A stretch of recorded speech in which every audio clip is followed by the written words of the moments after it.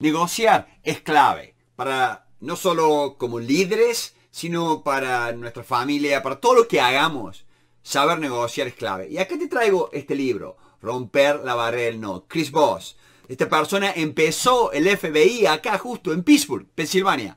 Empezó a trabajar para el FBI acá en Pittsburgh y ahora se ha convertido y es uno de los mejores negociadores a nivel mundial. Te recomiendo que lo veas. Vamos a charlar sobre este libro. Te voy a dar las ideas más importantes que debes seguir de este libro. Nos da una forma de obtener lo que el otro está pensando. Como negociador, la parte de, rehenes, cuenta esta historia que te muestro acá, la cuenta acá en el libro, de cómo, cómo el robo un banco en 1993. Bueno, espectacular. Te digo, este, no quiero ir en detalles, él está acá, pero eh, utilizando empatía, entendiendo a la otra persona, sabiendo eh, escuchar a la otra persona para que para que Él nos escuche a nosotros. Él trabaja con eso, hace, hace mucho espejo. El espejo es el mirror que le dicen acá, donde repite un par de palabras para que la persona se siga extendiendo, siga dando su punto de vista. No te olvides, esto es, eh, un, sistema este, brillante y vamos a ver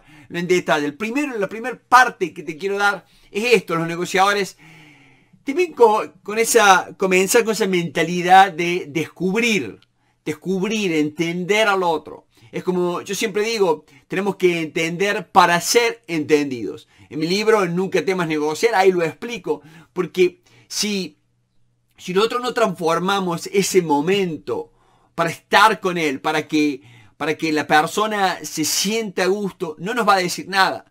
Y lo mejor que podemos hacer, la mejor forma este, de, trabajar, es realmente es conseguir justamente el tiempo, es el mejor amigo de un negociador. Y, ahí es donde él explica durante su libro, donde no, vamos rápido pero no deprisa, ¿no? No nos aceleremos, demos, eh, escuchemos más, descubramos bien lo que quiere. Y él habla de una despacio, con calma, suavidad. Habla de la voz FM, FM voz, la FM nocturna, donde la persona habla claramente. Entonces, te recomiendo que en todas tus negociaciones este, preste atención a eso, a no dar soluciones rápidas, a no querer eh, llegar a, ese, a esa solución, llegar a esa parte, sino que tenemos que ofrecer soluciones y tenemos que descubrir bien lo que quiere. Nunca sabemos a dónde vamos a terminar, pero es el proceso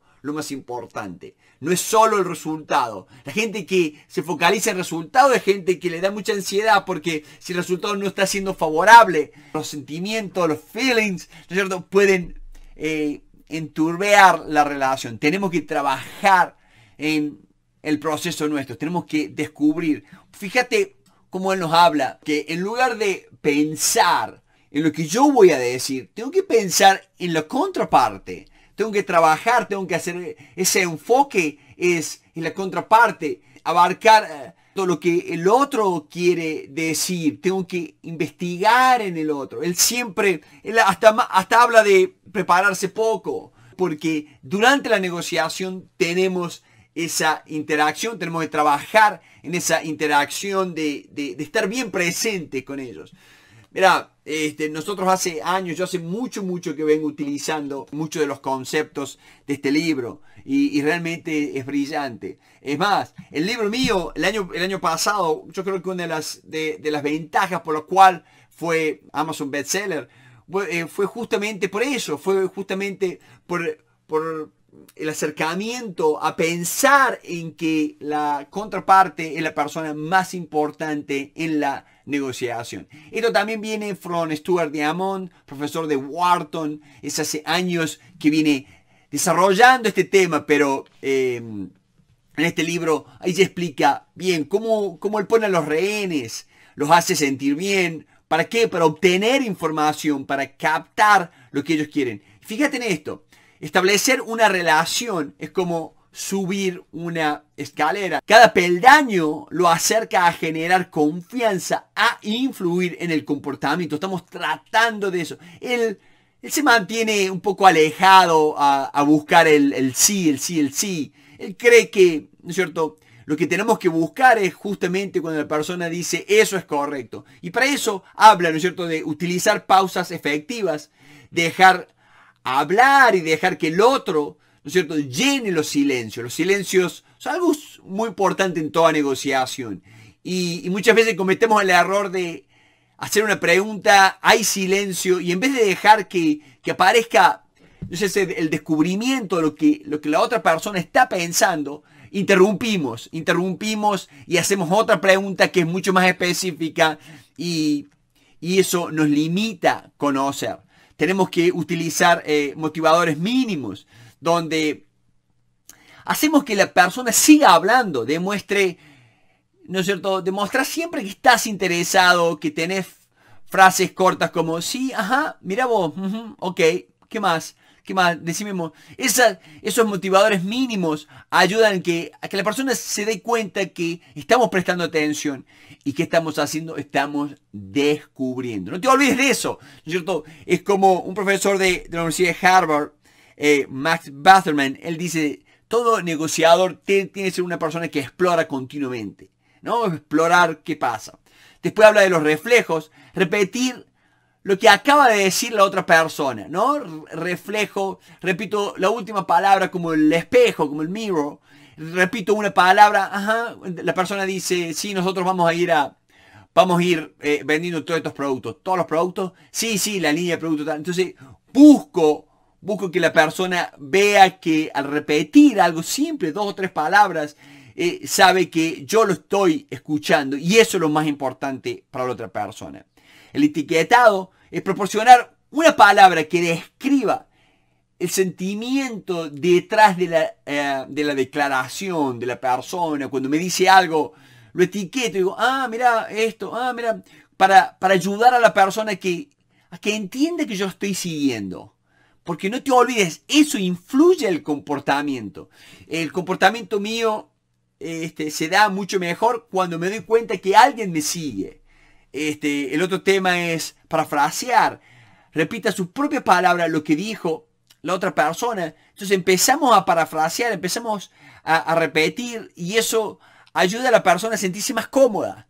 Eh, em, es como el reflejo. Eh, y, todo este tipo de cosas son justamente peldaños que nos hace que la persona hable. De resumir, resumimos el último, los puntos de que la contraparte para identificar emociones, identificar a dónde está, cómo lo está expresando.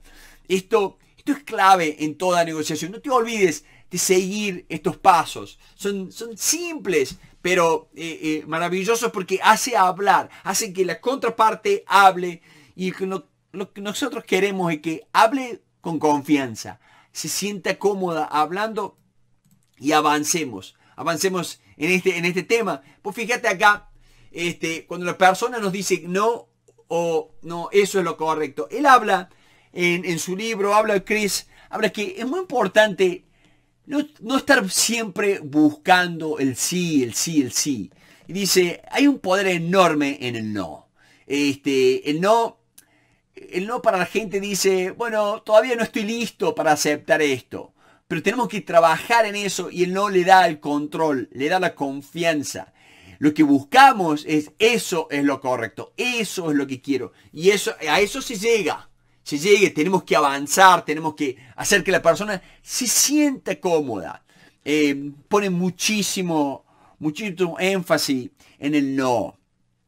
Porque se da que muchas veces estamos buscando el, sí. Vos viste, hay esas técnicas de, de, vendedores que te hacen decir que sí varias veces, pensando que vas a decir que sí al momento en que ellos te hagan la propuesta. Pero eso es contraproducente porque la persona que dice mucho que sí no tiene control sobre lo que está diciendo, lo que está haciendo.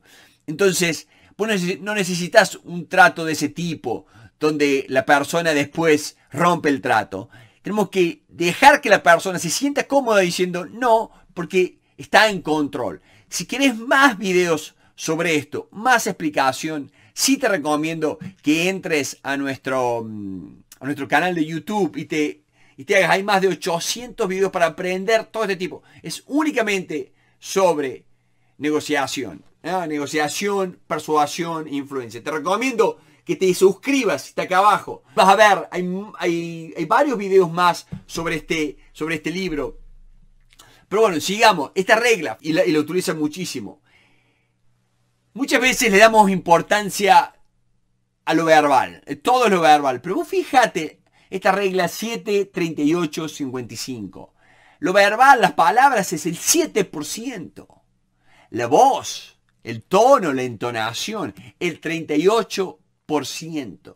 El lenguaje corporal, los gestos, la postura, la mirada, el 55%. Ahora nos damos cuenta que por ahí nos focalizamos mucho en lo que vamos a decir, pero nos damos cuenta que nuestra entonación, que nuestro cuerpo, en la forma en que lo decimos, en la forma en que actuamos, eso va a ir trabajando mucho más. Entonces, como negociadores eh, eficaces, necesitamos prestar más atención a esto.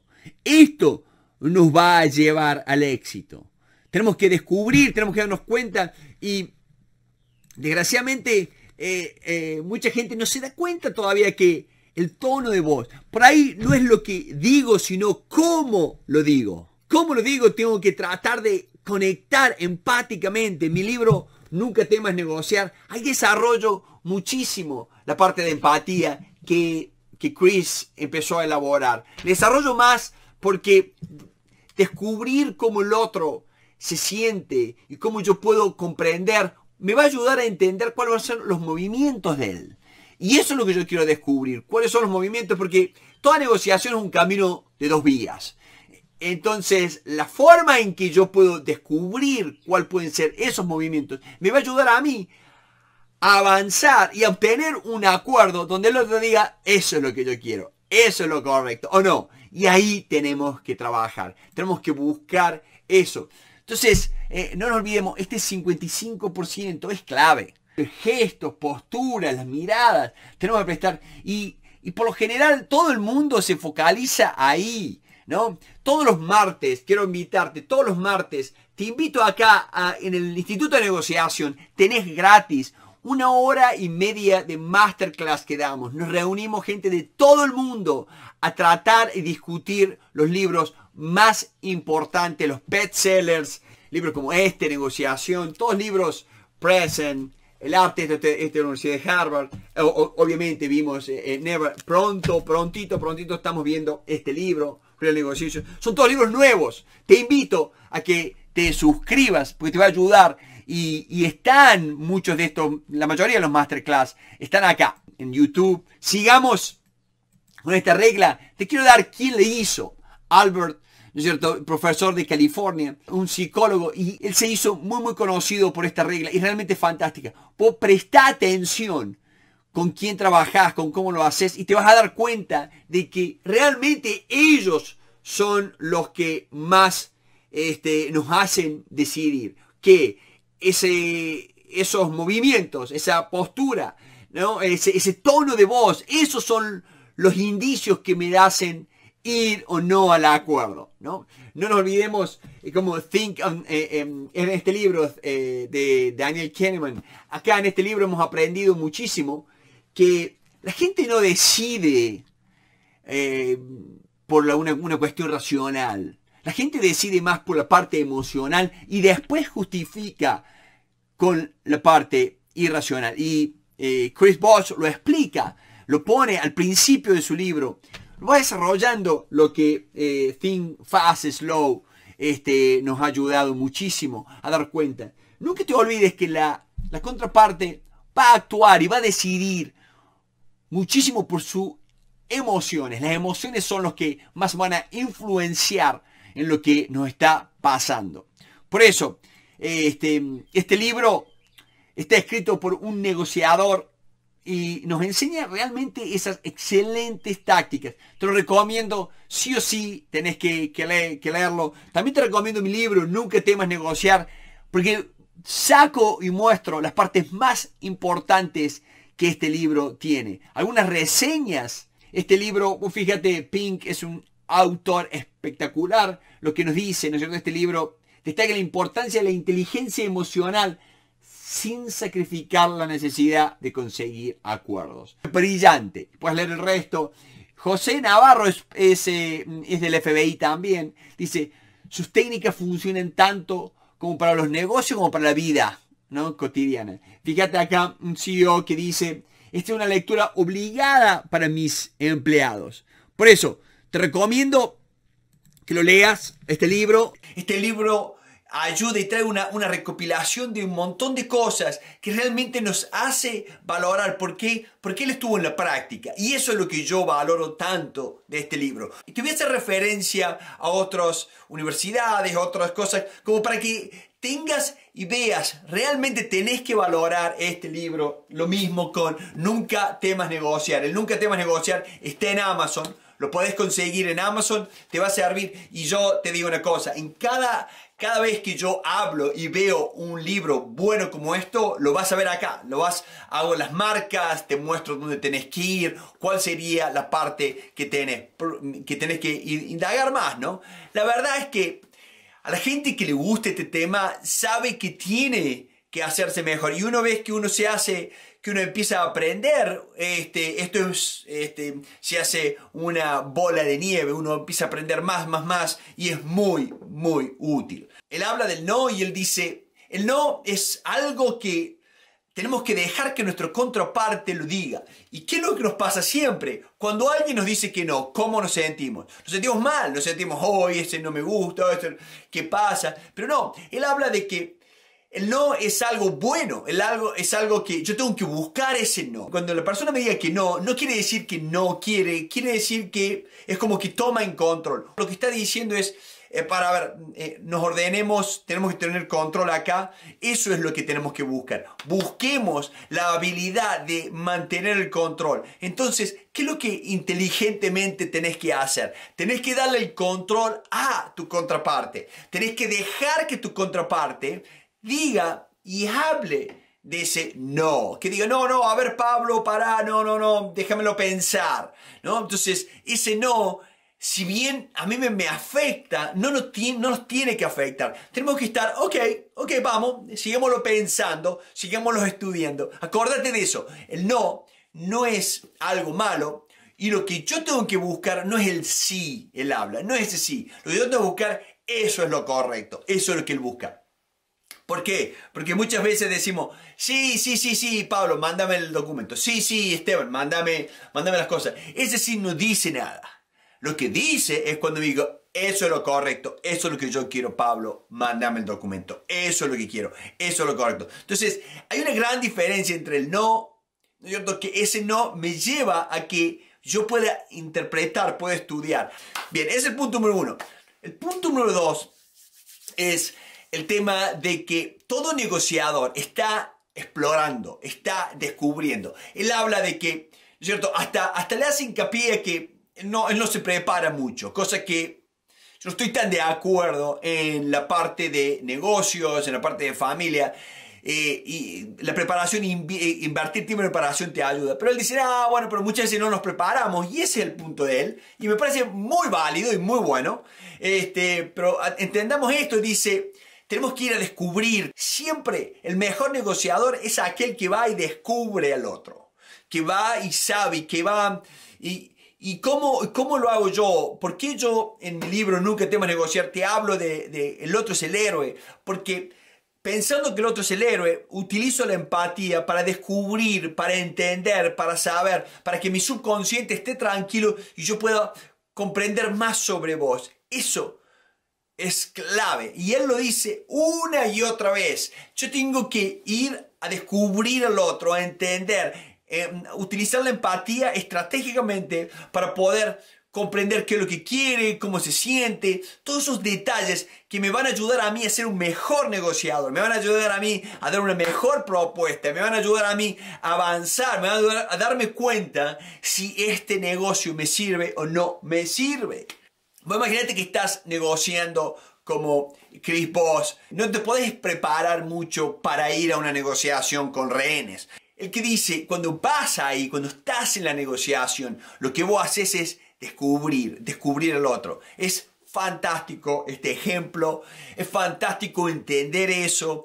en mi libro Nunca temas negociar, que lo puedes conseguir en Amazon, yo lo explico una y otra vez. Cometemos un error en no darle la importancia que tiene la contraparte, en creer que lo más importante es que yo diga lo que yo quiero hacer o lo que yo estoy buscando. Para nada. Lo más importante es descubrir a la contraparte, entender, buscar cómo yo puedo satisfacer los intereses de ellos y en base a eso yo voy a satisfacer mis intereses. Por eso, toma nota de esto, es muy importante. Te voy a dar un tercero que te va a encantar. Es la regla del 7, 38, 55. Toma nota. 7, 38, 55. Esta es una regla de un profesor de la Universidad de, de, la Universidad de California, Los Ángeles, donde él dice, la gente cree y estamos todos estancados en que qué voy a decir, que lo que voy a decir es lo más importante, que esto, que lo otro. Pero presta atención que no es verdad. No es verdad, no es verdad. El 7% de importancia es la palabra. La palabra juega un 7% de importancia. ¿Y sabes quién juega más el 38%? La tonalidad, cómo lo decís. ¿Y sabéis quién juega aún más el 55% importancia en la negociación, en esta discusión que tenemos? Que todos estos estudios lo has hecho, la Universidad de California lo han visto. Es la posición corporal. Este, como la actitud que tengo corporal hacia vos. Entonces, yo, me puedo, yo puedo descubrir que una persona quiere hacer negocio conmigo. Así esté equivocándose las palabras, así esté equivocándose el tono de voz, yo me doy cuenta por el cuerpo. Yo me doy cuenta cómo descubrimos cuando una persona miente. No lo descubrimos por las palabras, descubrimos porque las repite, descubrimos porque explica demasiado, descubrimos por la posición corporal, por la composición corporal, está tratando de, irse, está tratando de escaparse. Hay un montón de pequeñas situaciones que hacen que tenemos que entender esta parte. Y te felicito porque estás viendo y acá tenemos más de mil videos. Por favor, baja esta hoja. Hay una hoja de preparación. Está acá. Hay una hoja de preparación. Bájala. Esto te va a ayudar muchísimo en todas tus negociaciones. Tenés que estar estudiando, tenés que estar analizando porque la negociación es una habilidad que si vos no estás en competencia, si vos no, no, no te preparas, va a haber alguien que negocie mejor, va a haber alguien. Y si esa persona no quiere hacer el ganar, ganar con vos, vos vas a hacer el menú del almuerzo de él. Te voy a dar dos consejos extraordinarios que Chris Voss no da en este libro. Para que veamos y que charlemos y que tomes en cuenta, este libro te va a ayudar muchísimo. Este libro trabaja con la parte empatía. Pues sabes que el método nuestro es la empática, historia persuasiva. Utilizamos siempre muchas de las cosas fueron usadas de este libro y del método de Harvard, ¿no es cierto? De la, forma en que nosotros negociamos. Pero vayamos a ver esos dos puntos que dice que van a traerte muchísimo valor al momento de negociar. El primero, ¿no es cierto? Es un punto simple que es justamente la parte del humor. ¿No? Muchas veces no nos damos cuenta, pero trabajar, trabajar con humor, trabajar en la mente, trabajar con humor, poner a la, contraparte en una parte, en, una situación, en un estado mental positivo, te va a ayudar. Y Chris hace un montón, véanlo al video, hace un montón de chistes y hace esto, lo otro. ¿Para qué? Para que trabajemos de tratar de, de que la persona al sentirse, ¿no es cierto?, con humor, tranquilo, se siente más inteligente. La persona tiene la posibilidad de lograr mejores acuerdos al sentirse más inteligente, en ese estado positivo. Entonces, por ejemplo, si yo me río, y yo me río y te, y te sonrío, químicamente te hago un hijack, te estoy como, químicamente te estoy tratando de hacerte reír, ¿no? Y eso, y eso se trasluda. Entonces, se traspasa y tenemos que trabajar en eso. Una de las grandes estrategias de Chris Voss es justamente utilizar esa parte, utilizar y hacer que el otro entienda, el otro comprenda. Algo que dice él, dice, vos querés que no quieran algo mejor. ¿No? O sea, vos querés que no quieran algo mejor. O sea, que ellos no quieran algo mejor de lo que le estás dando.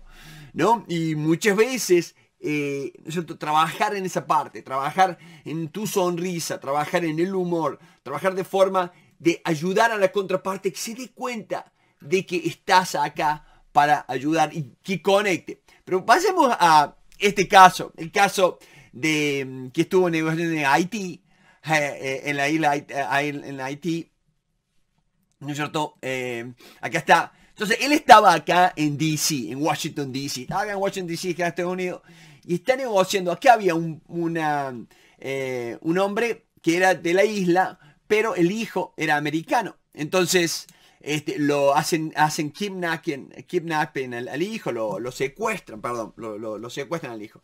Entonces en este secuestro este, lo ponen en el teléfono a, nuestro amigo Chris Voss, el autor del libro, lo ponen en el teléfono a Chris ¿no? Y te los recomiendo, es importantísimo, también como a mi libro, Nunca temas negociar. Los dos libros trabajan muchísimo en empatía y todo lo nuevo que hay en negociación para llegarnos mejor con la contraparte, afinarnos en eso. Entonces, la, historia comienza en que lo llaman, ¿no? Entonces, ¿qué es lo que hace él? Está en Washington, D.C., la persona está en, Haití, y, y lo llama y le dice, bueno, este, y la persona lo primero que le dice, dice, vos me vas a ayudar. Pero ni siquiera estás acá en, en, Haití. O sea, como, como, como el tema, ¿no? O sea, eh, ¿cómo me vas a ayudar? O sea, la persona... ¿Y qué es lo que haces ahí? ¿Qué es lo que hacemos normalmente? Lo primero es tratar de decir, sí, yo tengo tanto. Primero tratamos de mostrar el currículum vitae, tratamos de, tratamos de mostrar quiénes somos. Pero él te va, él te muestra acá que no hay que hacer eso. ¿Cierto? Que lo, que lo último que tenemos que hacer es eso, de ponernos a, defender. Lo que tenemos que hacer, escucha bien esto, lo que tenemos que hacer es tratar de que él vea que vos ves lo que él ve. Escucha, que él vea que vos ves lo que él ve. Y, te lo voy a ir explicando porque eso es lo que él lo explica. Puedes ver el, eh, puedes ver el video es fantástico, fantástico. Yo creo que uno de los mejores videos que hay acá en YouTube sobre negociación. Entonces, ¿cómo hace él eso? ¿Cómo hace? ¿Le, le da todo eso? No, no, para nada. Lo que, lo, que él, lo que él hace, te voy a mostrar una foto, ¿cierto? De él. Lo que él hace, le dice, mira, cuando se están en el teléfono y la persona dice, pero ¿y, cómo me puedes ayudar vos a mí si estás tan lejos, no? Entonces, y la garza, mira, entonces los secuestradores haitianos no están matando a las víctimas de secuestro en estos días. Me di cuenta de que es realmente estúpido porque se matan entre sí en un abrir y cerrar de ojo, pero por la razón que sea, no están matando víctimas ahora. Eso le dice el tipo. Y sigue, ¿no? Y sigue, escucha esto. Y dice, hoy jueves ¿No es cierto? Y los secuestradores haitianos les encanta la fiesta del sábado por la noche. Por eso le dice. O sea, como que hace la introducción. Mira, dice, no están matando. Eso lo único que En vez de ponerse a hablar del currículum, de que es del FBI, de esto y lo otro, él dice, ¿cierto? Este, mira, les gusta la fiesta y hoy es jueves, así que el sábado a la noche este, deben estar desesperados para salir. Si decís las cosas que yo quiero que digas y haces las cosas que te pediré que hagas, sacaremos a tu hijo el viernes por la noche temprano o, el, no por la noche o temprano el sábado. Fíjense cómo en vez de dar tantas indicaciones, lo que hace es espectacularmente dice, mira, dice, le da algo, ¿qué es lo que, es, lo que es eso? ¿Le da valor? ¿Le da una estrategia? No, para nada. Lo que le dice es, de, cierta forma, él está diciendo, yo veo lo que vos estás viendo. se lo está, le está mostrando, está mostrando. Yo sé de los, de los haitianos, ¿cierto? No matan a, la gente, es lo primero, imagínate, captó la atención del padre, ¿no es cierto?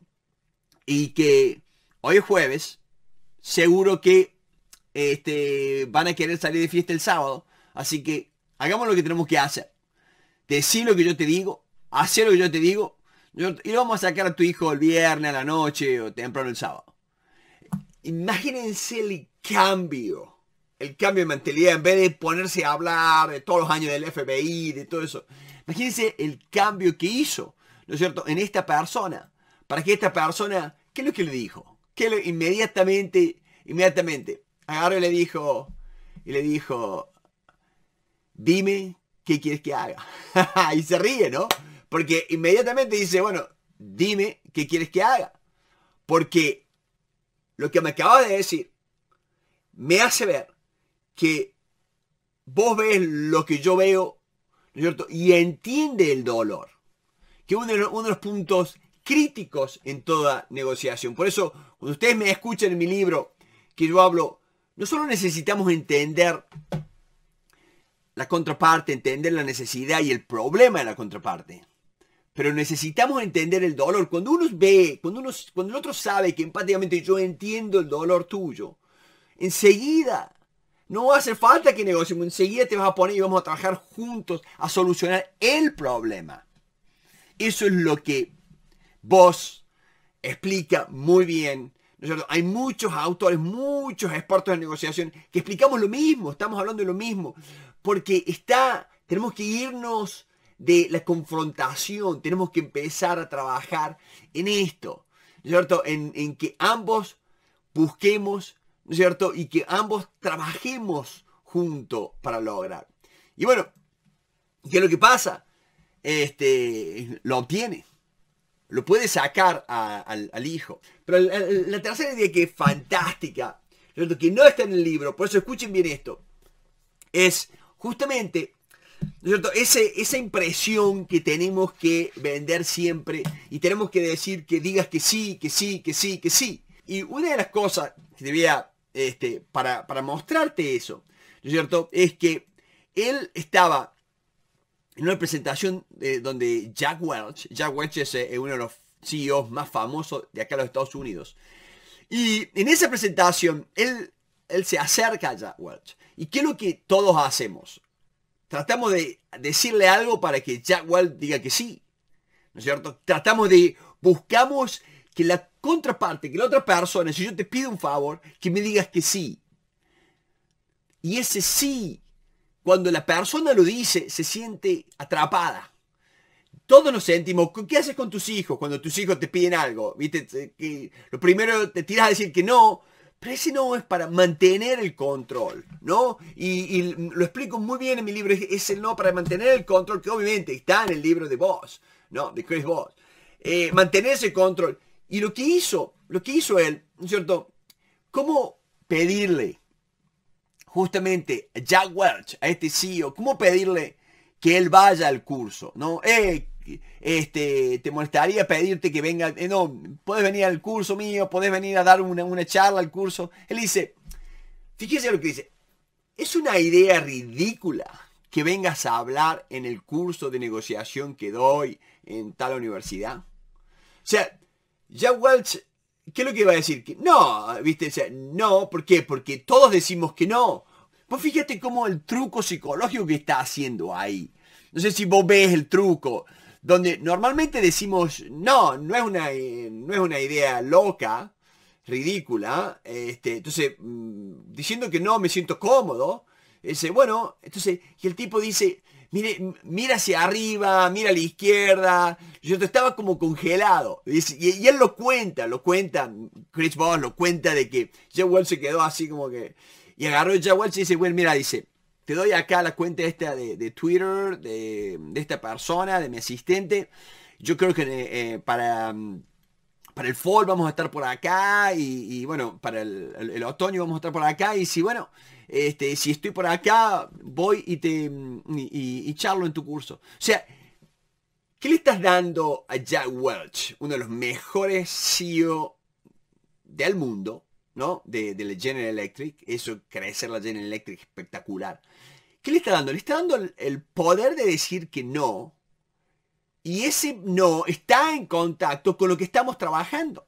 Entonces ves la fuerza que tiene de que ese no cierto? Ayude a Jack Welch a decir, no, no, no es ridícula la idea, este, déjamelo pensar, sí, bueno, sí, pero él se quedó, porque muchas veces, si yo trato de decirle que sí, cierto? Che, decime que sí, che, ¿podés venir a hablar? este, viste, digo que sí, está, no, eh, pero digo, no, no puedo. No, mirá, estoy muy ocupado, qué sé yo, a lo mejor vengo eh, en, el otoño, pero no, estamos muy ocupados. O sea, vos fíjate cómo eh, está lo contrario del hábito que tenemos siempre. Entonces, por eso te recomiendo que si puedes ver el video, ¿no? o mira este video de nuevo, y hay más videos sobre el no acá en el canal nuestro. Porque hay que ver sobre el no. Tenemos que comprender que eh, erróneamente de 1970, 1960, buscamos el sí, sí, sí. Son técnicas de negociación, son técnicas viejas. Hoy en día tenemos que tener una conversación mucho más honesta y tenemos que dejar al otro, dejarlo al otro que te diga que no. Pero que ese no te ayude a vos. Veamos otro caso, veamos otro caso que lo explica. Qué fantástico. Este caso es de Ronald Reagan. Ustedes saben quién es Ronald Reagan. Este, déjenme que se los ponga acá porque vale la pena este, entender. Miren, fíjate lo que hace. Ronald Reagan estaba ya ¿cierto? Al, al punto final de la campaña, ¿no? Y fue la primera vez que, sale electo. Y dice, el próximo martes irás a votar, ¿no? Entonces se los tira. Pues fíjate, está haciendo, está tratando de que vos veas lo que él ve. ¿No es cierto? Y, él ve lo que vos ves. Vos fíjate cómo está haciendo. El próximo martes irás a votar. Entonces, es verdad, sí, el próximo martes voy a votar. El próximo martes tienes una decisión que tomar. Uh, sí, es verdad, tengo una decisión que tomar, ¿no? O sea, tengo que votar. O sea, vos fíjate cómo él, él trabaja en eso. Dice, ¿estás mejor que hace cuatro años? ¿Tienes más poder adquisitivo del que tenías hace cuatro años? Te hace esa pregunta, ¿no?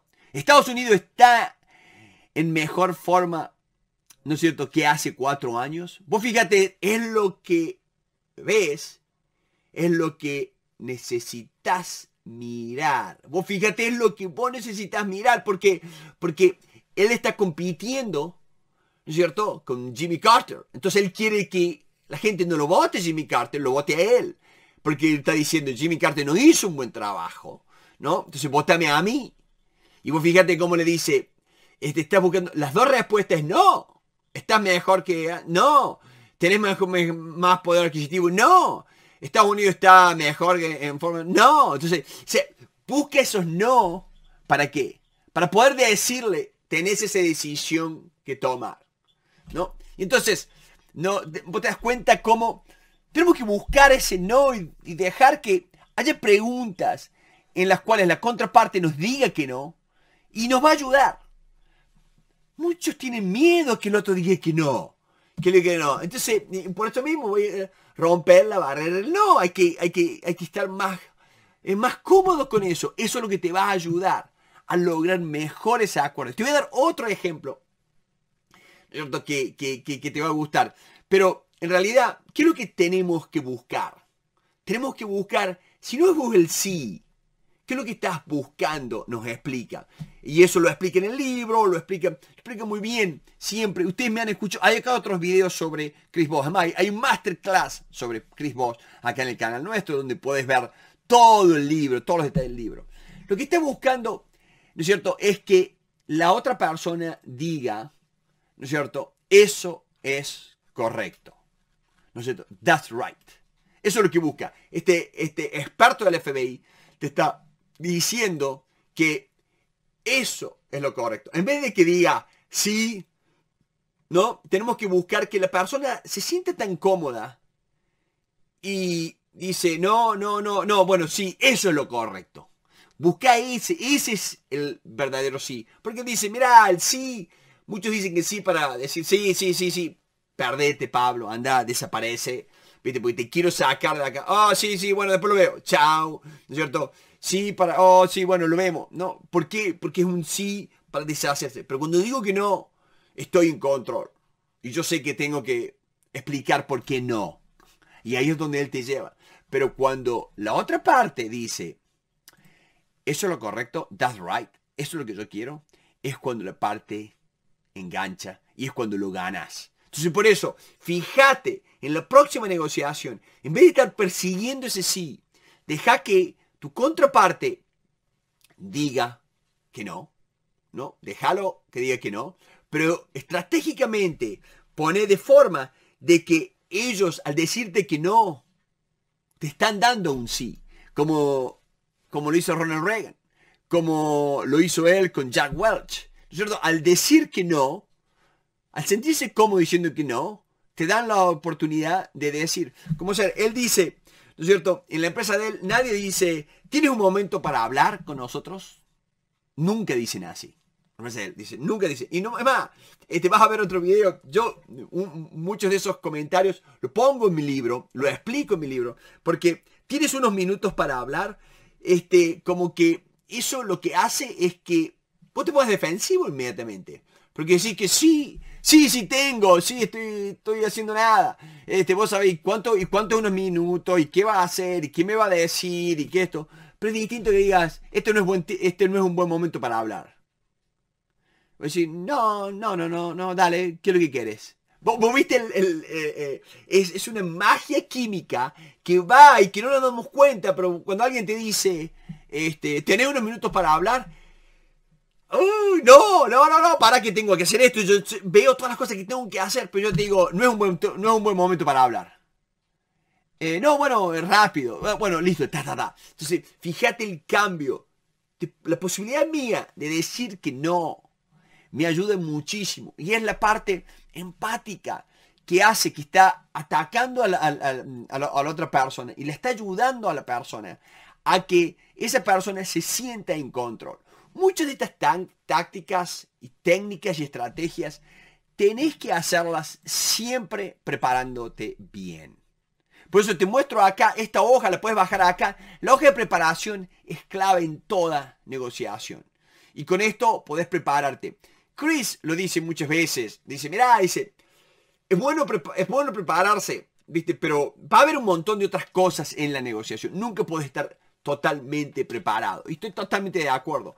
Pero cuando uno entiende por lo menos las preguntas, por uno, uno estudie cómo lo vamos a hacer, vas a obtener mejores resultados.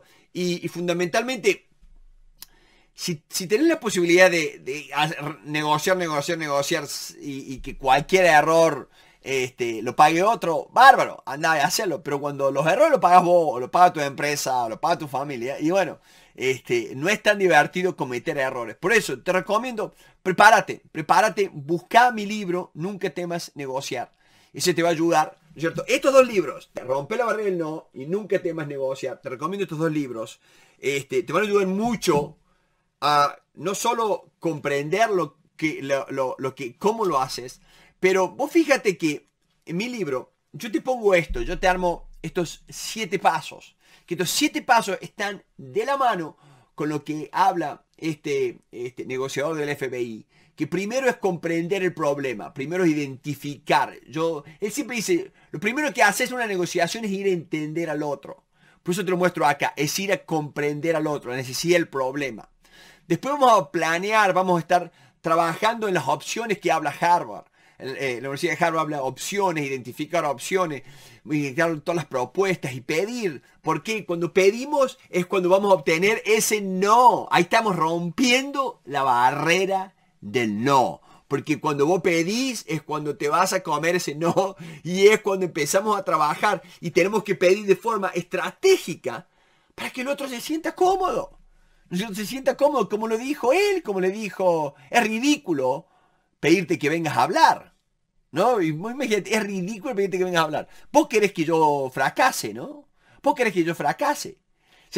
no, no, no, yo no quiero que vos fracases, este, te voy a ayudar de esta forma. Vos, viste el secreto que tiene porque, y el cerrar, siempre estar cerrando. Resultados, no arreglo, escribir la victoria. Escribir esta victoria, eso es de Willem Urui, que también es uno de los mejores negociadores del mundo como. Entonces, yo creo que eh, ellos dos son eh, indudablemente en la parte acá anglosajona los mejores este, negociadores. Y escribí de su victoria, lo conozco mucho a, William Uri, este, es porque nuestros clientes, más de 20.000 clientes que han pasado por acá por el Instituto de Negociación, lo hemos usado y es, es, fantástico, es fantástico descubrir esas pequeñas tácticas y estrategias que ayudan a que el otro se sienta mejor, confíe en vos y logres mejores acuerdos.